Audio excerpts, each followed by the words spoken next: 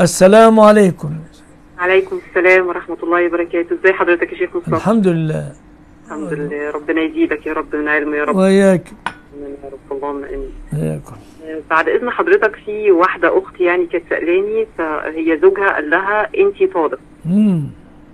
آه، فدي مرة قال لها في عصبية انتي طالق. وفي مرة أخرى كان هو واخد أشياء يعني مش كويسة متعاطي أشياء مش كويسة فقال لها برضو مرة تانية انتي طالق. كان سكران يعني ولا إيه بس؟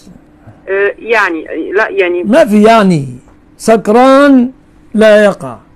وعلى الخلاف يعني بس نختار عدم الوقوع. في عقله يقع. ها؟ تمام. تمام. وفي مرة ثالثة قال لها أنت طالق وأقصد الطلاق وليس التهديد. آه، إذا أحد من أقاربك دخل البيت وبعدها في حد دخل البيت. خلاص. هو يقصد الطلاق الطلاق واقع والأولى وقع والثانية إذا كان سكران لا يقع في عقله يقع. تمام. وهو آه، فضيلة الشيخ هي بتقول لي هو آه، بيضربها ضرب مبرح يعني نعم. وبيطلب أحيانا علاقات محرمة يعني. ماشي. آه، فهي دلوقتي هي طالبة الطلاق بقالها سنتين هي في مكان وهو في مكان وهي. طالبة الطلاق عن طريق المحكمة وهو مش راضي يطلق. فهو بيقول لها أنت ملعونة دلوقتي أنت آه، لا مش ملعونة بس فيها ممكن تختلع لكن هي شحيحة بالفلوس. أيوه بالظبط هي محتاجة الفلوس. أيوة.